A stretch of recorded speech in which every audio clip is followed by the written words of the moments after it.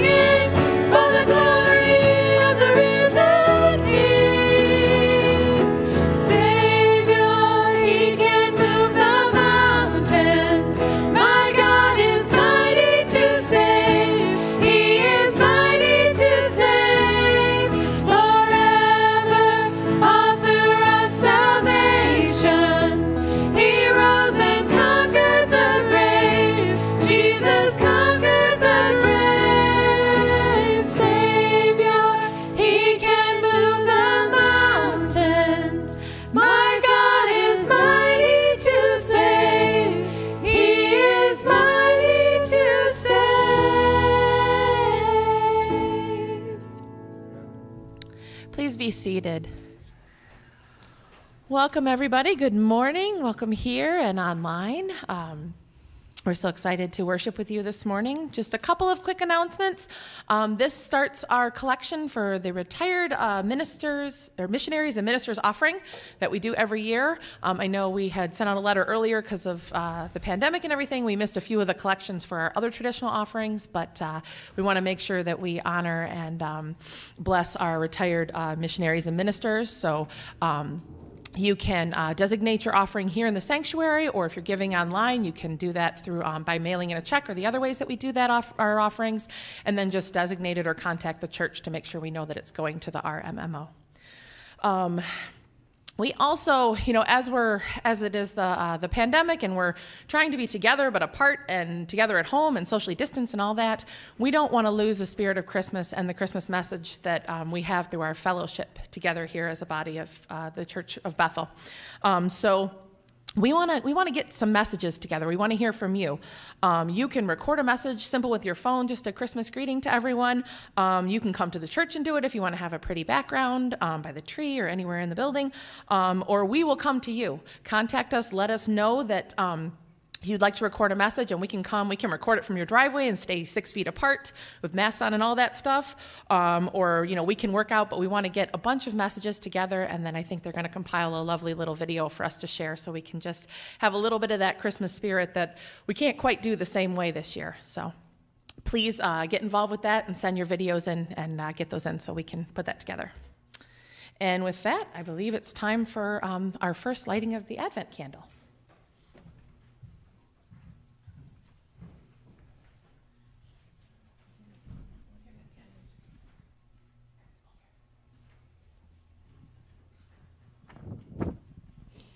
The scripture that goes with our candle today is Matthew 2:10. When they saw the star, they rejoiced exceedingly with great joy. After coming into the house, they saw the child with Mary, his mother, and they fell to the ground and worshipped him. Then, opening their treasures, they presented to him gifts of gold, frankincense, and myrrh. And having been warned by God in a dream not to return to Herod, the Magi left for their own country by another way. This candle represents joy, for God does not promise us happiness, but something more lasting joy, something given to those who choose his Son, a deep satisfaction and purpose beyond happiness that cannot be taken away. Joy comes with relationship in worshiping Christ as the shepherds did that day so long ago. Lord God, we, we are. Uh, we have so many, so many thoughts and emotions and feelings as we enter this, this particular Advent season, Lord. And it's, it's different and it's, it's unlike any other and it's scary, but in the midst of all that, Lord, we are joyful because we know that in just a few short weeks, Lord, we get to rejoice and celebrate your birth, the birth of your Son and Christ coming down to earth to save us. And Lord, there is nothing but joy when we think of that. And so we are so grateful, and we ask that you keep us, keep our hearts light, you keep us happy, and you keep our, us mindful of what the gift that your Son has brought to us. In your name we pray, amen.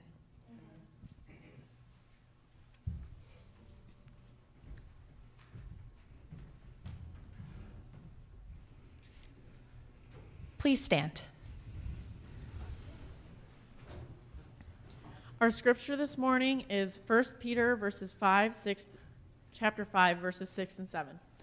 Therefore, humble yourselves under the mighty hand of God, that he may exalt you at the proper time, casting all your anxiety on him because he cares for you.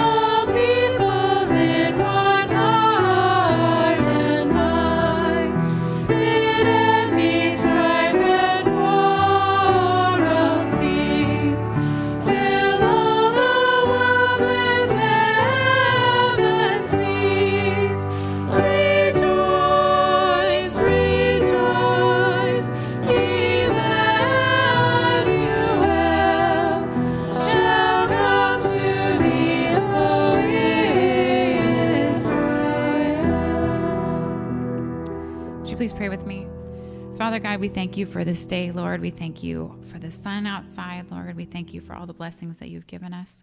We thank you for our church.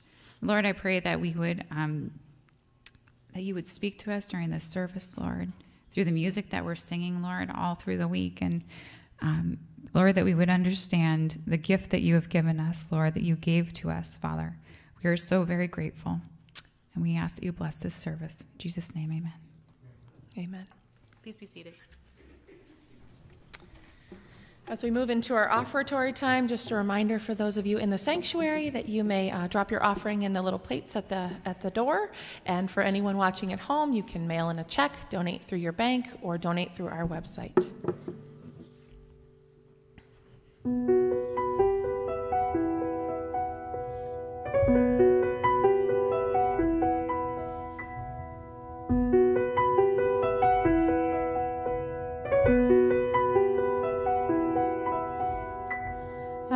Have traveled many moonless nights, cold and weary, with a babe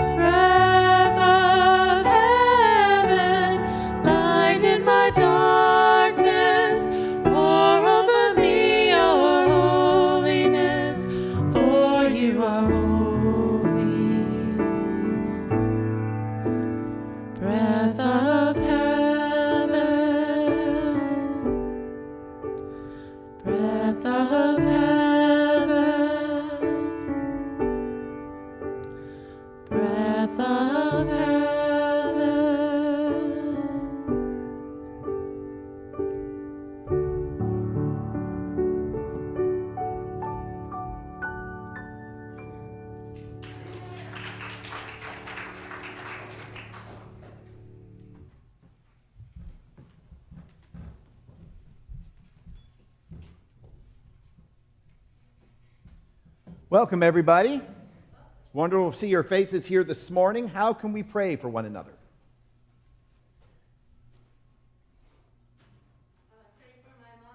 Uh huh. Pray for Jeannie. Her breath is uh, going in and out. I mean, that's what it's supposed to do, but. um, you're just saying that she's, it's, it's, she's finding a little difficulty to breathe? Yeah, and she wanted to be here today so badly, and she might come tonight to the, the, can, the lighting of the tree and the decorations and all. Okay. All right. We'll pray for Jeannie. Yes. Uh, continue to pray for my dad, Terry. Your dad, Terry. Yep. He's getting prepped up, and the chemo is, I think, going to start next week. Okay. All right. Yes. My grandfather on my dad's side, his name is George. He has COVID right now. He lives in, he's living in Florida. He's currently in the hospital. So just pray. Hannah's grandfather, George, has COVID and needs prayer. A lot of people, we, we've had a couple of people get some COVID scares. I think we have our, um, is it Sydney that has COVID?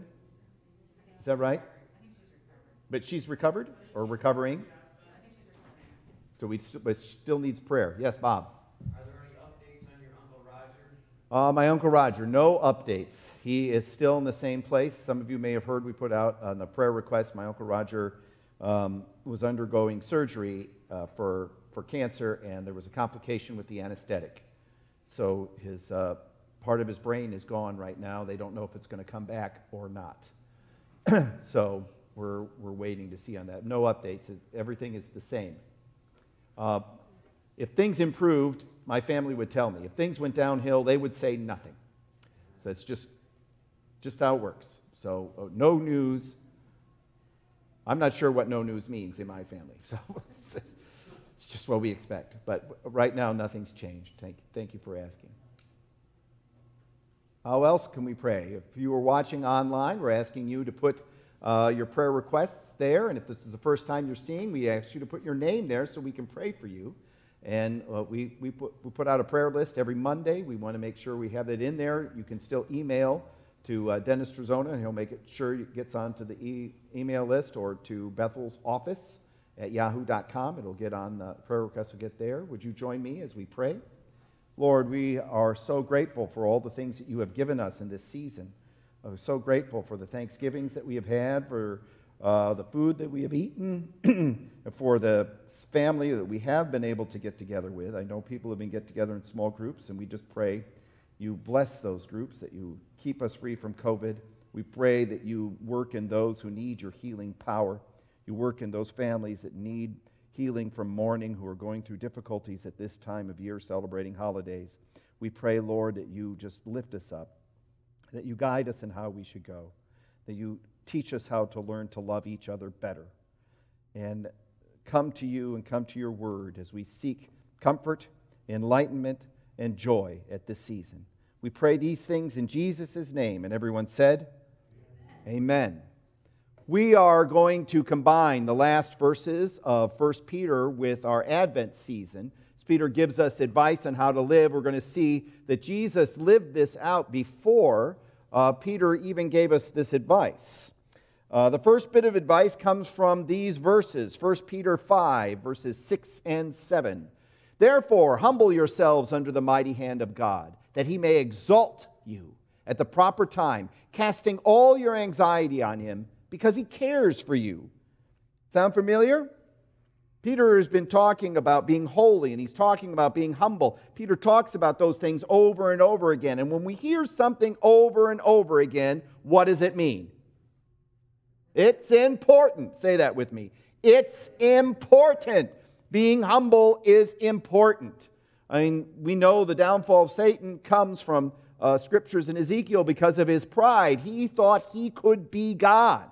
And whenever we put ourselves forward, that's where we're putting. We're putting ourselves in place of God instead of allowing God to rule and be over us. Now, when Jesus was born, King of Kings, the King of Kings was born. He was not surrounded by guards or armies or servants. When the King of King was born, he wasn't born in a plush palatial mansion in a bed surrounded by doctors. When the King of King was born, he was born in a manger. In a small suburb outside of Bethlehem, a country in a country of no significance. I mean, it was so insignificant, the Romans didn't bother to conquer it for a very long time because they couldn't see any worth in it. Well, you know, why bother? When Jesus was born, the King of Kings, born in a manger, he was surrounded by a father and a mother and some animals. He was small. There was nothing particularly outstanding about him. He wasn't particularly strong or particularly beautiful. It's true, after some time, the wise men came and brought him some gifts, but those gifts were sold and used so the family could hide in Egypt when they were fleeing the wrath of Herod, if you remember that. It's true that a chorus of angels sang at Jesus' birth, but the ones who heard it were just shepherds. Advent. Advent is the time we celebrate when God came to live with us. The time came when God walked on earth as one of us. Most of us don't really understand what that means for God to come down and live as one of us. This is humility. When Peter tells us to be humble, he has the perfect example in Jesus. Jesus, the King of Kings, and yet did not command an army. Instead, he walked the earth.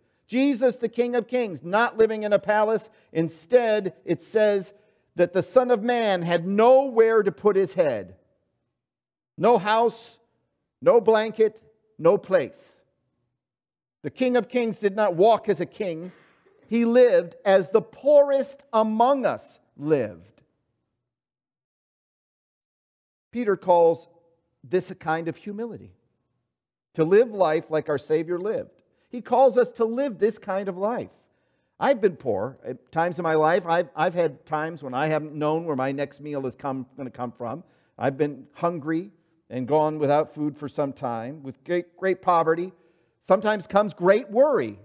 Amen? When we're poor, sometimes we get worried. Peter tells us to connect our humility with a worry free life, and that's very difficult for some of us. When you don't have a car, you don't have to worry about where you're going to park, but then you don't have a you know, a means of getting from one place to another, especially here in Detroit. But it's more than thinking about what blessings you have by not having these things. Jesus lived each day expecting God to provide everything for him. I remember in the 60s, remember they warned us that there was going to be this population explosion from the baby boomers, and we would all run out of food. I'm not sure how many of you remember this. They said we were all going to run out of food in the 60s. And they repeated that whole thing overpopulation. We're all going to run out of food in the 70s. And they repeated it again in the 80s and in the 90s. Every time the population of the earth has exploded and gone up, somehow or other, there's been enough food for everybody. I think that's God's providence. We don't see a way that we're going to feed all these people but somehow or other, there's a revolution, there's a change, there's a thing and happens, and we do have enough food. We grow enough food so there should be no hungry people on earth ever. We grow enough food to feed the whole world. And yet, there are hungry people. It's not that we don't have the food, we do have the food. God has provided for us. He has given us the means. We just don't share with one another. We have the food. We have worries. We have anxieties. It's hard to live without worries and anxieties, especially when you find yourself hungry or sick or lonely or cold. How can we live a worry free life? I don't know if you noticed, know this, but when you read scripture and you read it carefully, you can see that Peter worried. Peter worried. He gave some of his problems to Jesus, but he kept some of those problems for himself that he was going to take care of. He didn't want Jesus to take care of everything. I'm going to take care of some of those things. When you keep a little problem to yourself, it often grows into a bigger problem. Peter worried about catching fish. Peter worried about the temple tax. Peter worried when he was walking on the water. He worried. He worried when Jesus was arrested. He was so worried when Jesus was arrested that he drew his sword and struck the ear off of one of the guards. Think about this. If Jesus hadn't stepped in and done something in that moment, Peter would have been arrested with Jesus and executed with Jesus. Where would the church have been then without Peter? But Jesus did step in. We remember that he cuts off the ear of the guard. This is mostly because Peter was a fisherman and not a soldier. Peter's aim was to kill the guard, and the best he could do was cut off his ear. Not a great soldier. But Peter did this all because he was worried. We are to be humble and worry free. Peter knew how worry could ruin his life because it had ruined his life. After this moment, when he stood up to the guards, when he went back and saw Jesus was arrested, when he went back and saw Jesus was beaten, Peter worried so much that someone would connect him with Jesus and that he would then be arrested and he would then be killed. He denied Jesus three times. That's how much worry Peter had. He was worried, Peter, he was worried about everything. And so Peter understood that worry can almost destroy your life. It can destroy your life. It almost destroyed his. Jesus did not worry. Peter, after the resurrection, he was a different person. He found a way to put his worry aside so that he didn't worry. And so there was a time in Acts chapter 12 when Peter is arrested and he's put in prison and he doesn't worry. When Peter is chained up, Peter doesn't worry. When Peter is sentenced to be executed in prison and he doesn't worry. And then an angel appears to him. Still, Peter doesn't worry. Peter doesn't worry because Jesus had shown him a different way. In every situation he comes in, he doesn't have to worry because he knows Jesus is going to be with him. When Jesus walked the earth, when he was with them as a disciple, Peter worried because he was putting his faith into something other than Jesus. He was putting his faith in the kingdom he imagined Jesus would establish that he would sit at Jesus' right hand, that Jesus would rule, that there would be a rebirth of Israel, and the whole world would come to them. This is what he pictured. I'm going to sit at Jesus' right hand. That's where he put all of his faith, not in Jesus. But after the resurrection, Peter understands that the kingdom is a whole different, different thing. He puts his faith in Jesus instead of the things that happen in this earthly kingdom. He doesn't put his faith in the sword. Because when Jesus leads the revolution, it's not going to be led by a sword, it's going to be led by a lamb. Or you could put it this way the only sword a Christian carries is the word of God. Amen? That's the only place where we put our faith, that's where we put our strength. Jesus, Peter took out a sword when Jesus was arrested because his faith was in an earthly kingdom. We don't take that sword up, we die by that sword. Why such a change? Let me frame Peter's life in a slightly different way. When Peter was worried about catching fish, Jesus pointed to where the fish were. When Peter worried about the temple tax, Jesus pointed to where the money could be found, which incidentally was inside of a fish. When he worried about walking on water, Jesus pulled Peter to his feet. When Peter cut off the guard's ear, Jesus healed the guard so that Peter would remain free. So when Peter was arrested, he didn't worry. Executed or not, he knew Jesus would be with him, that Jesus would find him, that Jesus would lift him up, that Jesus would provide for his needs. Jesus is Emmanuel, God with us. And when He's walking with us, we have no need to worry about anything. Isaiah 41:10 Do not fear, for I am with you. Do not anxiously look about you, for I am your God. I will strengthen you. Surely I will help you. Surely I will uphold you with my righteous right hand. We do not need to fear because when we need it, God will give us courage. James 1 5.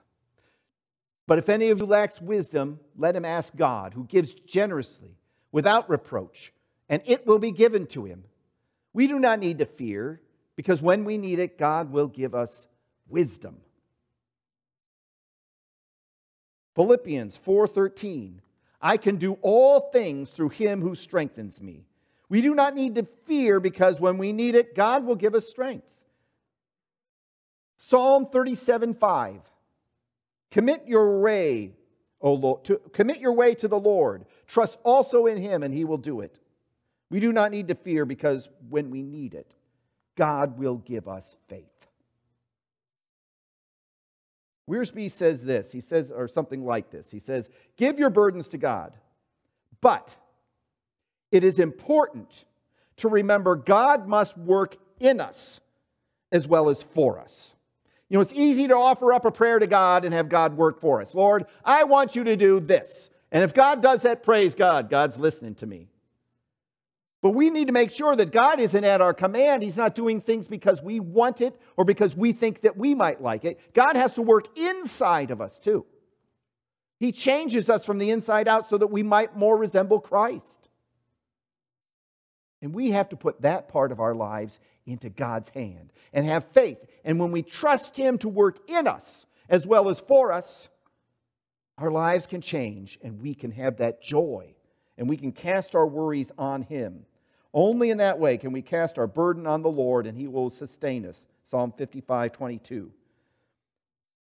So, did Jesus help Peter when he was a disciple? Yes, when Peter was a disciple walking this earth, following his own way, hoping God would work for him, Jesus was there for him. But Jesus worked stronger in him when Peter says, Lord, don't work just for me, work in me. Change my heart, change my life. And in that way, he could truly cast his anxieties on the Lord and have no fear. What fears are you holding on to? Do you know Emmanuel has come? Do you know the King of Kings is here? Matthew 1, verse 18. Now, the birth of Jesus Christ was as follows. When his mother Mary had been betrothed to Joseph before they came together, she was found to be with child by the Holy Spirit. And Joseph, her husband, being a righteous man and not wanting to disgrace her, planned to send her away secretly. But when he had considered this, behold, an angel of the Lord appeared to him in a dream, saying, Joseph, son of David, do not be afraid to take Mary as your wife, for the child who has been conceived in her is of the Holy Spirit. She will bear a son, and you shall call his name Jesus, for he will save his people from their sins. Now, all this took place to fulfill what was spoken by the Lord through the prophet. Behold, the virgin shall be with child and shall bear a son, and they shall call his name Emmanuel, which means God with us. And Joseph awoke from his sleep and did as the angel of the Lord commanded him, and took Mary as his wife, but kept her a virgin until she gave birth to a son. And he called his name Jesus. In this season of Advent, we celebrate Emmanuel, God with us. And because God is with us, we don't need to have fears and worries of a normal life. Because he will direct us where we need to go. Are you willing to cast all your anxieties on the Lord? To live a life free of fear? So many people in this time keep their fears close to them. God has given you gifts in your life. Celebrate them in this season. Let the worries of tomorrow wait till tomorrow. Because for now, Jesus is with us. Emmanuel. As we close our service, you may have anxiety in your life. You may have difficulties that you're suffering with. They may include loneliness and cold and hunger and a place to live and bills. There's so much it seems to worry about in this world. But when we follow Jesus, we know that no matter what happens, if He is with us, He will overcome our problems. He will put us in the place that we need to be so that we might reach others. In this time, we are to look towards our blessings, towards the blessing of family, towards the blessing of the gifts that God has given us to use for His kingdom, and the gifts that He's just given us just for fun. Let us go to the Lord in prayer as we close our service and put our worries and anxieties upon Him. Lord, I thank you that you are the God who is with us, that you work inside of us to change us as well as for us. I pray, Lord, that you give us an opportunity to share your love, share your grace. But more than that, Lord, help us to give up our fears, our anxieties, our difficulties. Lord, we are surrounded by people in the media that's saying there is so much to be afraid of and there are so many things to worry about. But we know in your hands we will be taken care of, that we will be in the place we need to be, that we will have the things that we need to overcome, and that you will be with us no matter what our circumstances are. I pray, Lord, you continue to work through us and in us. Give us an opportunity, O oh Lord,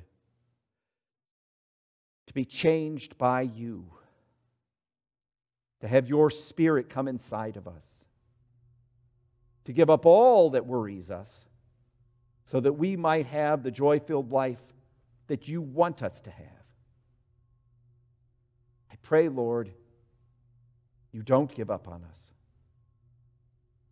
I pray, Lord, you continue to work through us. I pray, Lord, you give us an opportunity to share the miracle of Emmanuel with people who need to hear it. We pray these things in Jesus' name. And everyone said, Amen.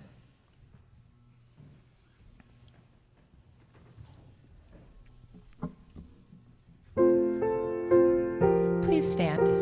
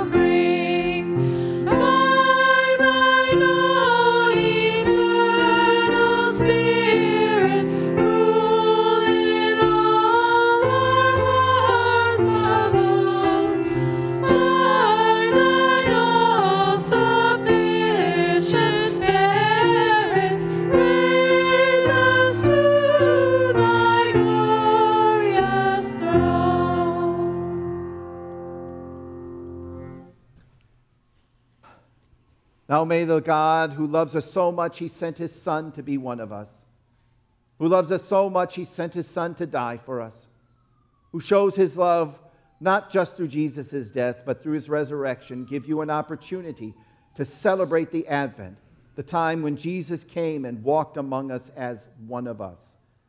And give us an opportunity to share that and to share our love of you with them. We pray all of these things in Jesus' name, and everyone said, Amen. Amen.